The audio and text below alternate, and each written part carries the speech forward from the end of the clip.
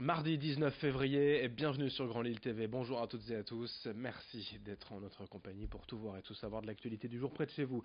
Le journal, on, démarre par euh, vos prévisions météo avec en, encore quelques passages nuageux ce matin puis dans la journée, mais c'est dans l'ensemble une belle journée ensoleillée qui s'annonce. Du soleil, du ciel bleu, pas de risque de précipitation et les températures toujours aussi douces, quoiqu'en en légère baisse aujourd'hui. 11 degrés à Lille cet après-midi, on en reparle bien sûr juste après ce journal. À la une, tout d'abord dans l'actualité nationale en France et dans la région aujourd'hui, partout des centaines de manifestations sont prévues pour dénoncer l'antisémitisme après plusieurs actes et propos relevés ces derniers jours dans le pays. À Lille notamment, un rassemblement est annoncé à 19h, place de la République. Dans les faits, selon les chiffres du ministère de l'Intérieur, il y a eu 514 actes antisémites en 2018 contre 311 ans en 2017. Une véritable hausse donc que ressent aussi la communauté juive régionale. Ici, pas de violence physique, mais des propos ou des actes de vandalisme persistant, des inscriptions, des dégradations, pas toujours traités dans les médias, selon Guy Bensoussan, le président de la communauté juive de Lille, qui s'en explique au micro de Xavier Sili.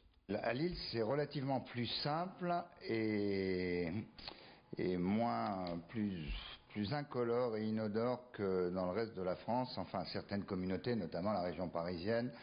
Euh, Marseille, Aix-en-Provence, ou des communautés juives très actives. On a la chance et la malchance, malheureusement, euh, d'avoir euh, bon, des lieux cultuels qui sont relativement groupés, à savoir que la synagogue c'est le centre communautaire, donc il n'y a pas de restaurant cachère, il n'y a pas d'épicerie cachère, il n'y a pas de, lieu de culte très visible, et une population juive également qui est absolument pas visible à l'œil nu vu de l'extérieur.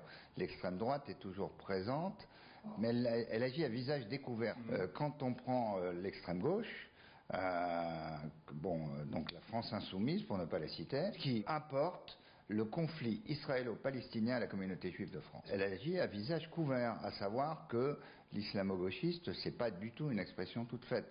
Alors je parle bien d'islamo-gauchiste et non pas euh, de, de, religion musulmane qui a toute sa place bien évidemment en France, qui représente alors cet islamo-gauchiste une minorité de la population musulmane. Et moi je regrette, si vous voulez, à la manifestation de demain, qu'on accepte, si vous voulez, le front de gauche et qu'on refuse le Front National. Si on accepte le Front de gauche, on accepte le Front National.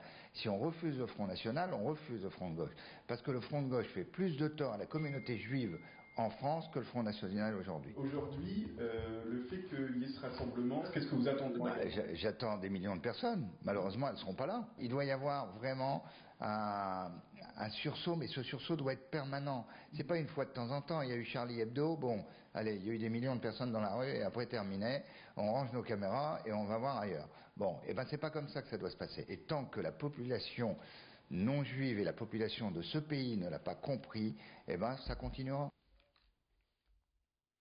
Les rassemblements donc euh, prévus, je vous le disais, partout dans la région, en France également, mais ici à Lille, c'est à 19h, place de la République. Autre actualité aujourd'hui, la mobilisation aussi des gilets jaunes qui pèsent encore hein, sur les commerces, notamment en Lillois depuis plusieurs semaines désormais. C'est en tout cas l'avis de certains professionnels à, à, Lille, notamment rue Gambetta à Oisem. Après trois mois de mobilisation, les Gilets jaunes ont encore défilé ce samedi. Et certains commerçants commencent à se lasser, car selon eux, ces mobilisations font fuir les clients le jour le plus important de la semaine sur le plan commercial, le samedi. Résultat, une activité qui tourne au ralenti, un chiffre d'affaires en baisse. On écoute cette coiffeuse lilloise rue Gambetta, Jackie Gossignac au micro de Rémi Desremaux.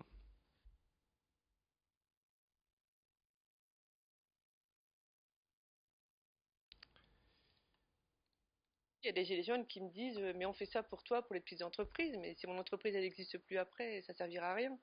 Si je peux plus travailler, de toute façon, si l'entreprise est fermée, ça sert à rien. Alors quelquefois, il y a des gens qui ouvrent la porte qui me disent ferme ton salon, viens avec nous. Mais moi, si je ferme, l'argent ne rentre pas, et si l'argent ne rentre pas, je peux pas payer mes factures.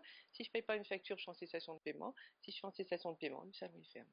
Mais nous, on n'a pas les reins solides et on ne peut pas se permettre comme ça de ne plus travailler une demi-journée par semaine, c'est absolument impossible. Les Gilets jaunes ont raison, mais cette façon de faire euh, ne nous dessert pas du tout.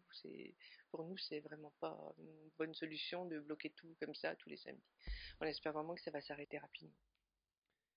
Le 1er janvier dernier, le ministère des Finances avait annoncé de nouvelles mesures pour favoriser l'épargne salariale. Hier, Bercy a confirmé en envoyant un mail à 1 300 000 chefs d'entreprise, de TPE, de PME pour les informer de cette euh, nouvelle aide. Alors qu'en est-il? Explication en plateau avec Vincent Vieillard.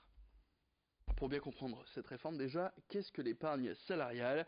Certaines entreprises reversent à chacun de ses salariés une fois par an une prime représentant une partie de ses bénéfices qu'on appelle participation et une autre prime qu'on appelle intéressement et qui est elle liée à la performance de la société.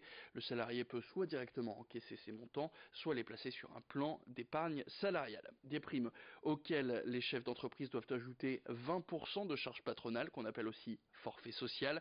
Par exemple, si une entreprise souhaite verser 1000 euros à son salarié d'intéressement, elle doit donner en plus de 100 euros euh, pour l'État. Mais depuis le 1er janvier dernier, ce forfait social a été supprimé pour les entreprises de moins de 250 salariés sur l'intéressement.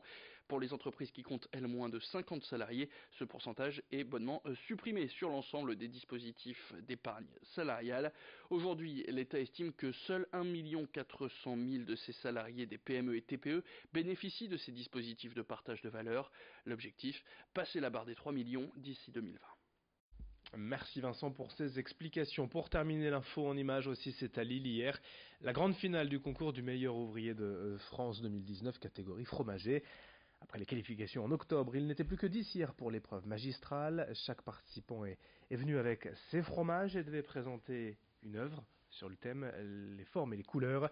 Les candidats ont eu en fait un mois et demi pour préparer cette présentation avec 50 fromages différents à présenter, dont une moitié imposée par le jury et une moitié au libre choix du candidat. Parmi les dix finalistes, un seul nordiste, Jean-François Dubois de la fromagerie Lafinarde à Arras. On écoute un membre du jury au micro de Vincent Vieillard. On va les juger sur euh, leur travail, leur façon de travailler, de s'organiser, euh, maîtriser les gestes professionnels, les règles d'hygiène qui sont obligatoires dans les métiers euh, d'art alimentaire. Et puis, ils vont avoir à répondre pour là, pour l'œuvre qu'ils sont en train de réaliser aujourd'hui, un thème qui leur a été dévoilé un petit peu en amont, qui est euh, pour le coup euh, sur cette session, ce 26e concours, le thème de la forme et des couleurs. Fin de cette édition, merci à vous de l'avoir suivi. À suivre dans un instant vos prévisions météo. L'info continue sur Grand Lille TV.